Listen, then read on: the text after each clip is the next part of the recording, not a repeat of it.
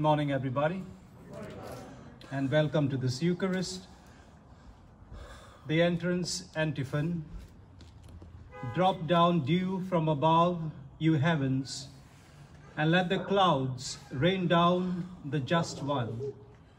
Let the earth be opened and bring forth a Savior.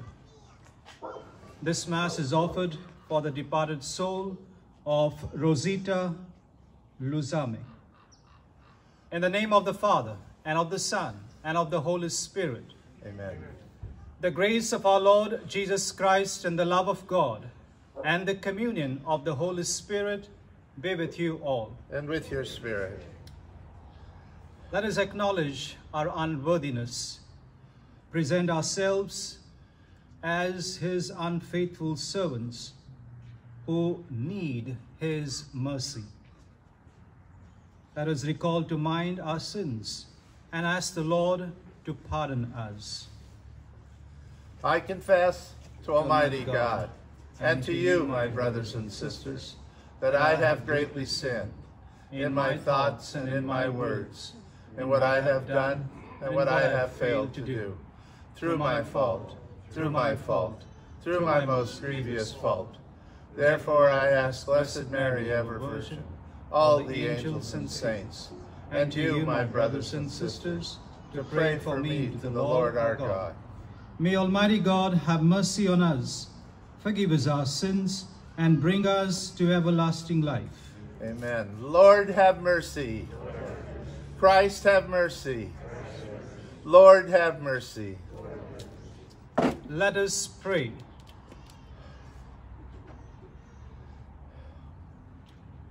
Pour forth, we beseech you, O Lord, your grace into our hearts, that we, to whom the incarnation of Christ your Son was made known by the message of an angel, may by his passion and cross be brought to the glory of his resurrection, who lives and reigns with you in the unity of the Holy Spirit, one God, forever and ever. Amen.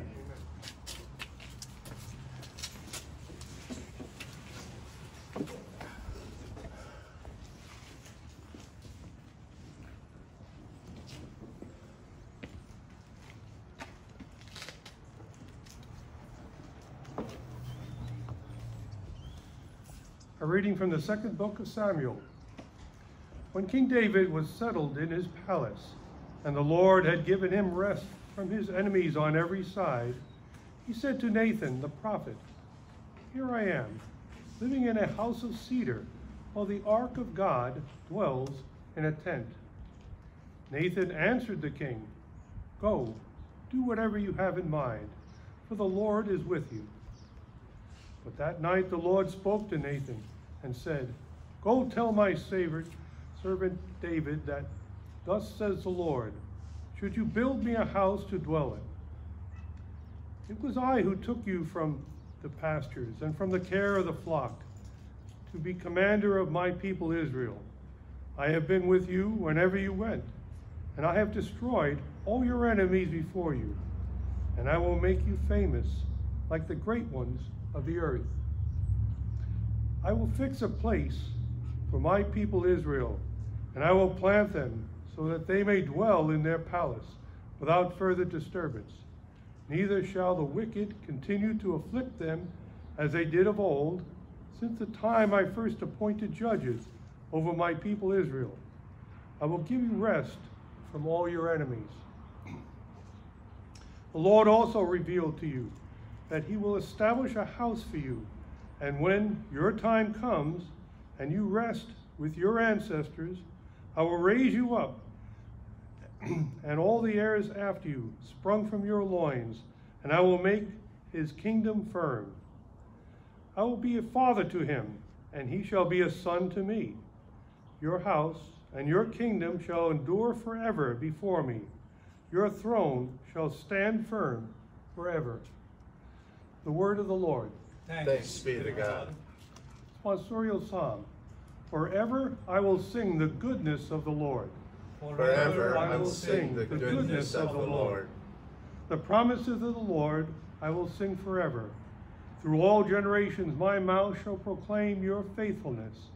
For you have said, My kindness is established forever. In heaven you have confirmed your faithfulness. Forever I shall sing the goodness of the Lord. I have made a covenant with my chosen one.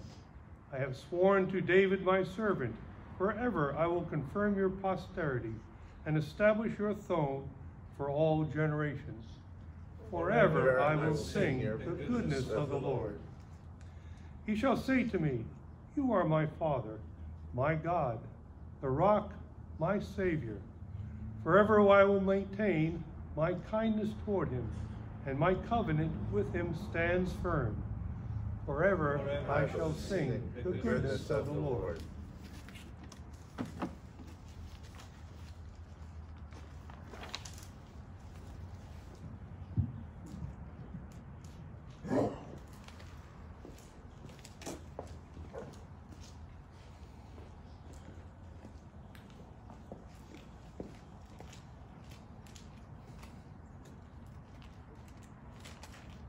Reading from the letter of St. Paul to the Romans. Brothers and sisters, to him who can strengthen you, according to my gospel and the proclamation of Jesus Christ, according to the revelation of the mystery kept secret for long ages, but now manifested through the prophetic writings and according to the command of the eternal God. Made known to all nations to bring about the obedience of faith to the only wise God. Through Christ, Jesus Christ, be glory forever and ever. Amen. The word of the Lord. Thanks be to God.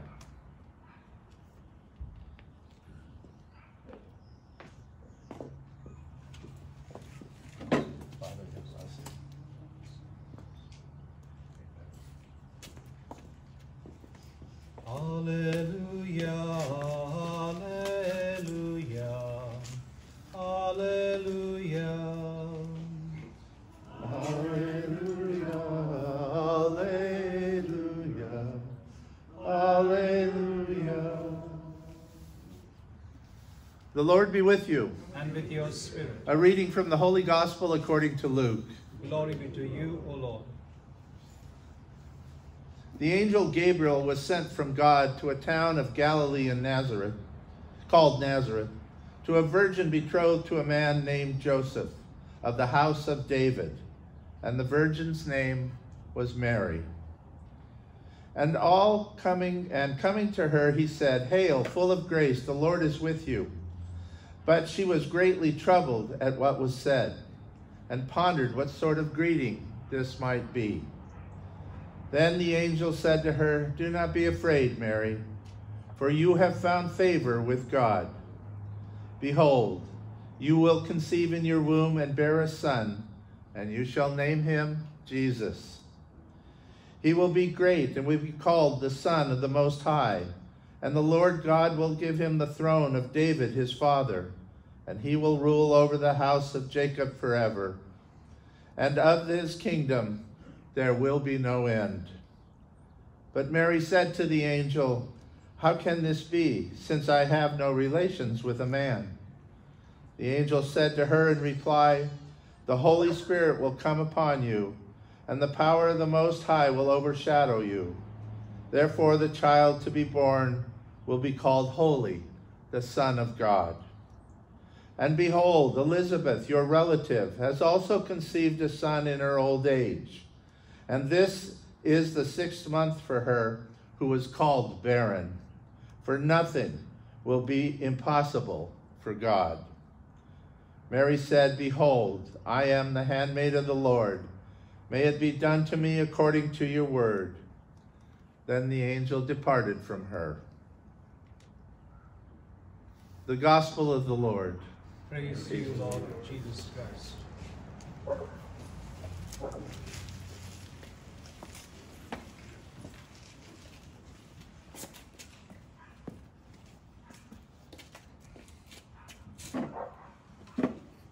Father Royal and myself, we have divided our work when we have to set for the Mass. He usually does the PA system, and I do the other rest of the things. And we usually start this process at least an hour before the Mass. And we discuss things, we talk. Today, as he was setting things, he asked me, Do you know Father Perfecto? I said, Are you talking about me? so, this is how we set the altar, we set for the Mass, we set for the house of the Lord. And we are talking about house of the Lord, today's first reading as well as the gospel reading. King David had become the successful king and even now is recognized as the most successful king in the Israel's history. The people of Israel were nomadic. They would move from place to place with their tents, but they always carried with them the Ark of the Covenant. And wherever they pitched their tent, there is a place where they would also have a tent for the Lord, the Ark of the Covenant. Even if they were exiled or they were taken in captivity, they would always take it with them. So this was, or this had been, their life pattern. And now, King David had become successful. He had overruled or overthrown all the other rulers and thus they have come to a spot where they were settling themselves. So King David had already built a beautiful palace for himself. That is what we read in today's first reading. And from his palace he sees the Ark of the Covenant or the tent. And he says to himself, I am living in a beautiful house, and my Lord is being housed in a tent. This is not just. So I will build a house for the Lord. And then he goes to Nathan, his priest or a prophet, and he discusses with him. And he says, Go ahead, it's a good thought. And after that, the Lord reveals to his priest that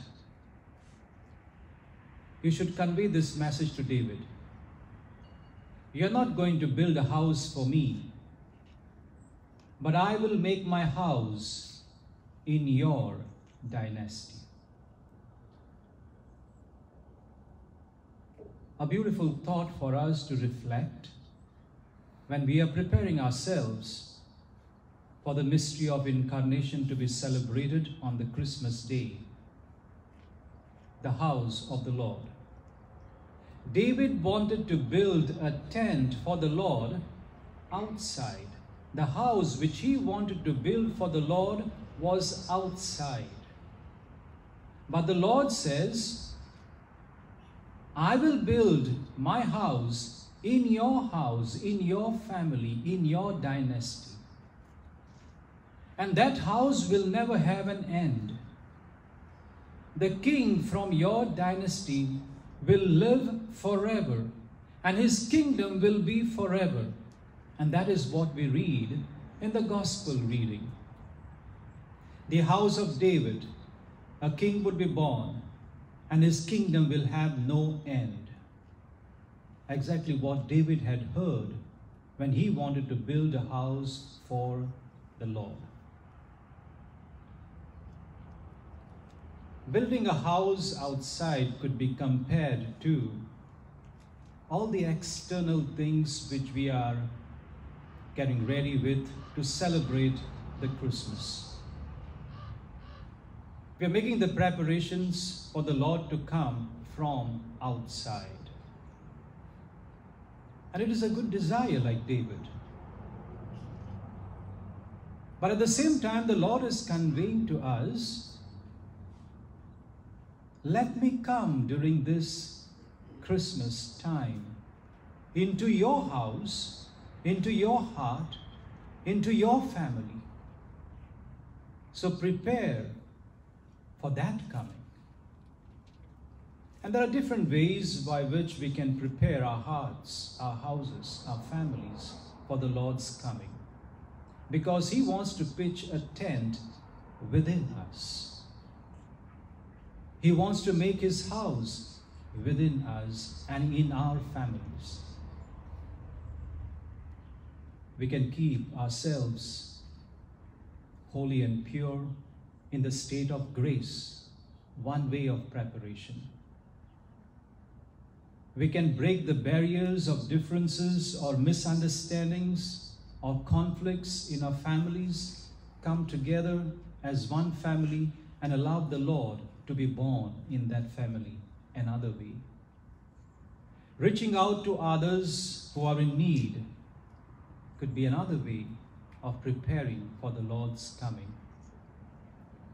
Let us reflect for these few days remaining for us for the Lord's coming as how I am preparing to house the Lord, to receive the Lord. Let us pray for the graces that we may prepare our hearts in a very special way and receive Him in our hearts.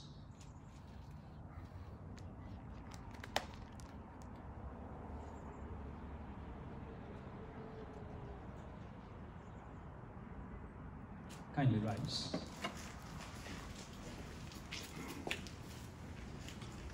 I believe in one God, the Father Almighty, maker of heaven and earth, of all things visible and invisible.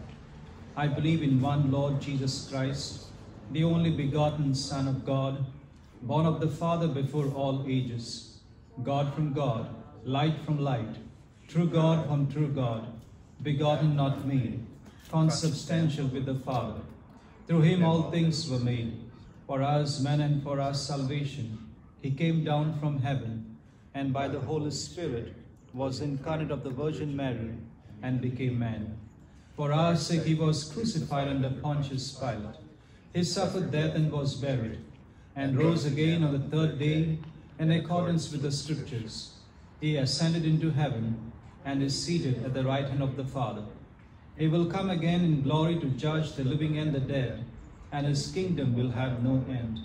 I believe in the Holy Spirit, the Lord, the giver of life, who proceeds from the Father and the Son, who with the Father and the Son is adored and glorified, who has spoken through the prophets. I believe in one holy, Catholic, and Apostolic Church.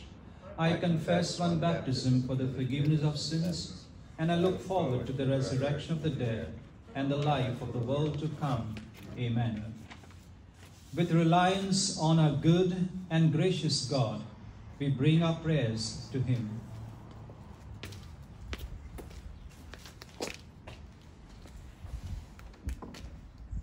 For Pope Francis, may the Lord bless him in his zeal and joy for the gospel. Let us pray to the Lord. For our elected officials, may the Holy Spirit conform their hearts to charity and justice as they make their governing decisions. Let us pray to the Lord. For those suffering the harshness of winter, may the Lord in his infinite mercy ensure they have adequate shelter and food for their tables. Let us pray to the Lord. For all gathered here today, may the grace of discernment help us fulfill God's plan for each of us. Let us pray to the Lord. For those who have died, may they soon come face to face with Jesus their Savior. Let us pray to the Lord. For healing for those who are suffering from this pandemic and for their caregivers, we let us pray to the Lord for the special intention of this Mass for the repose of the soul of Rosita Luz Amy. For this we pray to the Lord. And for those prayers that you hold in the silence of your hearts.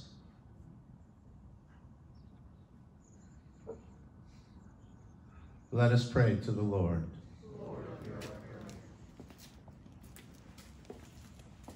Loving God, hear our prayers as we strive to know your will and follow the plan you have carved out for us. We ask this through Christ our Lord. Amen.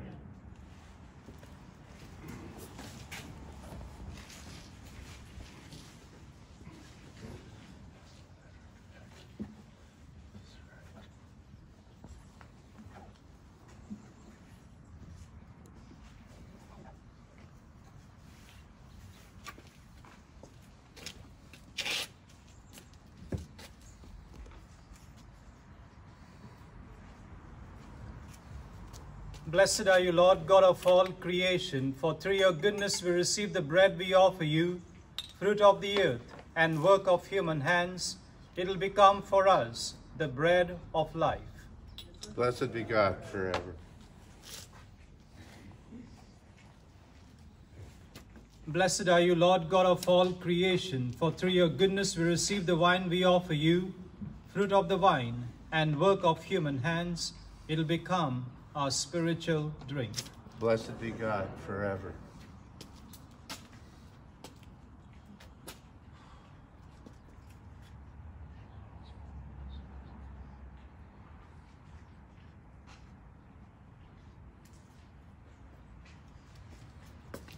Pray, my brothers and sisters, that my sacrifice and yours may be acceptable to God, the Almighty Father.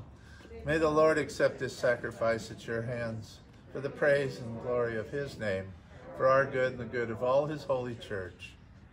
May the Holy Spirit, O Lord, sanctify these gifts laid upon your altar, just as he filled with his power the womb of the Blessed Virgin Mary, through Christ our Lord. Amen. The Lord be with you. And with your spirit, Lift up your hearts. we lift them up to the Lord. Let us give thanks to the Lord our God. It is right and just. It is truly right and just, our duty and our salvation, always and everywhere to give you thanks, Lord, Holy Father, Almighty and eternal God, through Christ our Lord. For all the oracles of the prophets foretold him, the Virgin Mother longed for him, with love beyond all telling.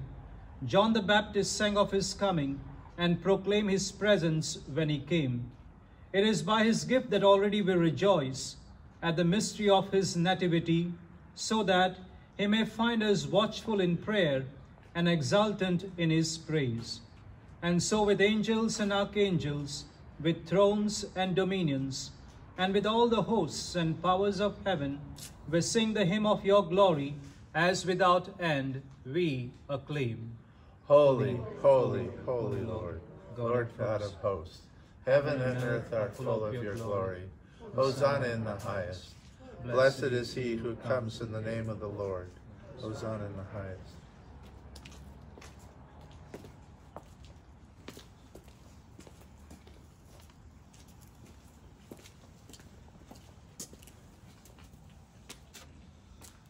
You are indeed holy, O Lord, the fount of all holiness. Make holy, therefore, these gifts, we pray, by sending down your Spirit upon them like the dewfall, so that they may become for us the body and blood of our Lord Jesus Christ. At the time he was betrayed and entered willingly into his passion, he took bread and giving thanks broke it and gave it to his disciples, saying, Take this, all of you, and eat of it. For this is my body, which will be given up for you.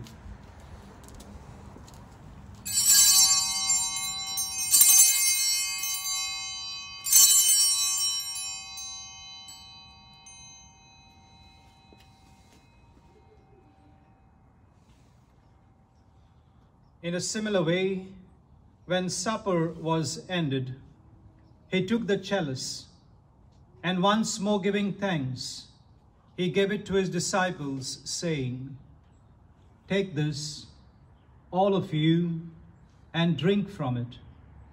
For this is the chalice of my blood, the blood of the new and eternal covenant, which will be poured out for you and for many for the forgiveness of sins. Do this in memory of me.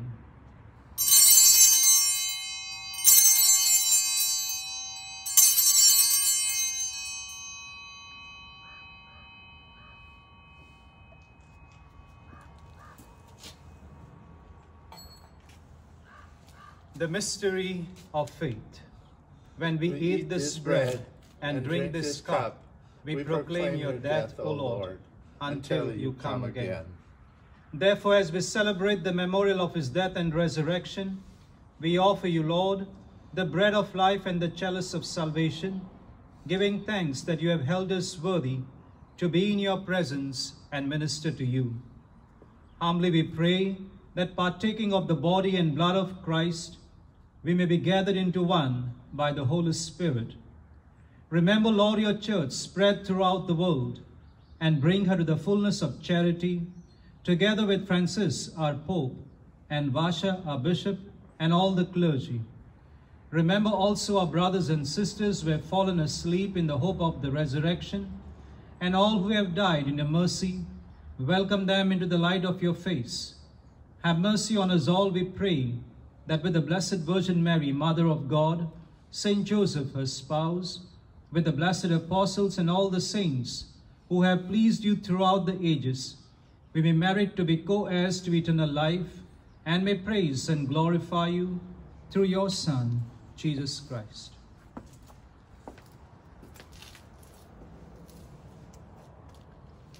Through him and with him and in him, O God Almighty Father, in the unity of the Holy Spirit, all glory and honor is yours forever and ever.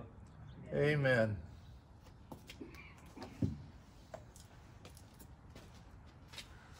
At the Saviour's command and formed by divine teaching, we dare to say,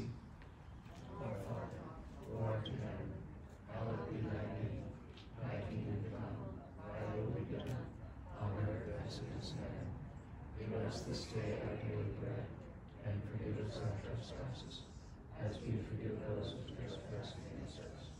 And lead us not into temptation, but deliver us from evil.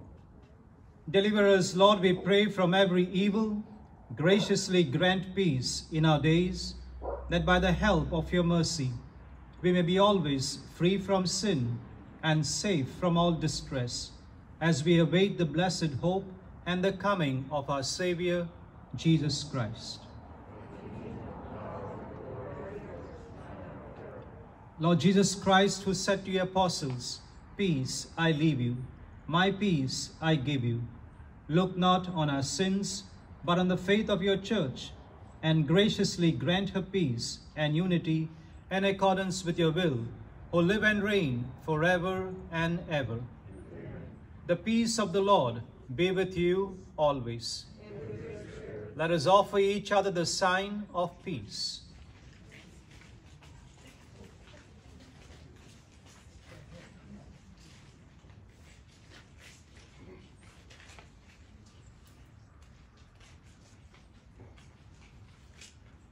Lamb of God, you take away the sins of the world. Have mercy on us. Lamb of God, you take away the sins of the world. Have mercy on us.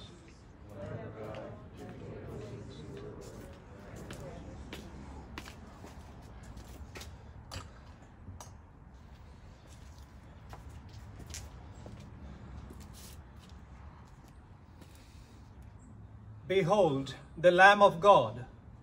Behold him who takes away the sins of the world.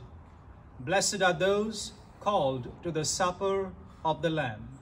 Lord, I am not worthy that you should enter under my roof, but only say the word, and my soul shall be healed.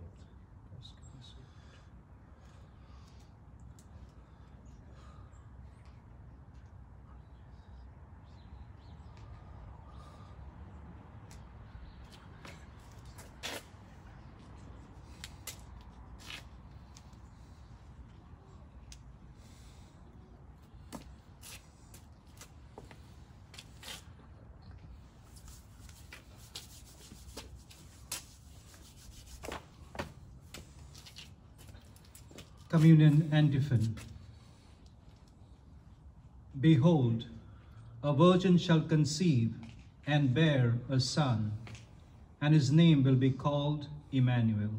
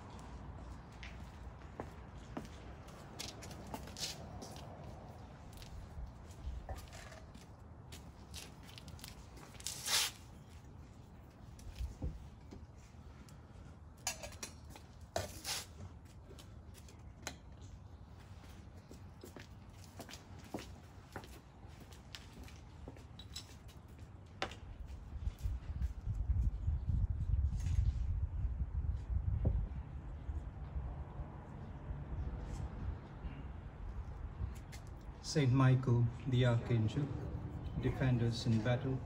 Be our defense against the wickedness and snares of the devil. May God rebuke him, we humbly pray. And do thou, O Prince of the heavenly host, the power of God, thrust into Satan and the other evil spirits who prowl about the world for the ruin of souls. Amen.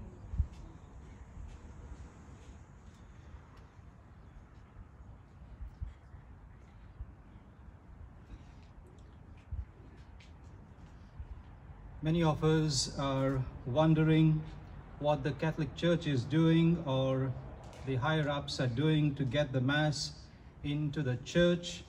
And um, Bishop Vasa has sent to us a bulletin or a note or information, and I would like to read them, read that to you. Brothers, that is meant for us, priests, here is the summary and then an opinion message from the Catholic Church Conference, CCC. The observers at the hearing noted that both, side, both sides made the usual arguments. The sense was that the judge was sympathetic to the argument of the state, but seemed to recognize that the courts had supported the argument of the church. The judge seemed to think that the concessions given to the church outside worship made the case different than Colorado or New York.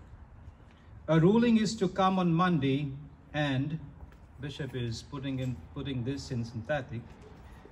Pessimistic me, I would guess that he will uphold the level of shutdown declared for California based on science, while at the same time assiduously avoiding any actual science about the safety of our churches. We shall see, but at this point, I am much less hopeful than I was on Friday. Here is the comment opinion on the liability of opening without permission. The, Cat, the, the California Catholic Conference Public Policy Committee asked and received some clarification from Steve Green, that is CCC attorney, California Catholic Conference, regarding liability issues if pastors offer indoor worship without approval of the state or county. The bottom line is that the leader holding the indoor service is liable for breaking the law as would anyone attending. However, the likelihood of actions against attending parishioners would likely not be taken. But there is the consideration of notifying parishioners that they would that they could be violating a public law by attending indoors. Your local politics and secular media could choose to make it a rather negative story. So this is uh, what we received yesterday. Uh, I have the bulletins on a small teapoy there uh, you could grab one bulletin because it has all the details uh, and the schedule of our Easter, sorry, Christmas celebration. On the left-hand side are the masses, on the right-hand side are the confession schedules. So you could grab one with you uh, and that will help you to know the schedule of Christmas. I would like to thank every one of you for all your prayers, especially for one another during this time of pandemic and all the help which you have been giving and especially sending in your plate collection regularly even by mail. Thank you so much and may God bless you. Let us pray.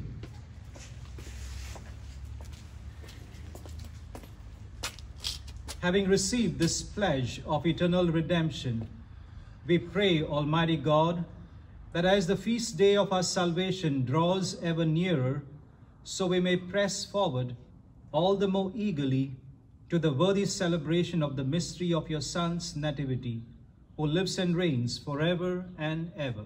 Amen.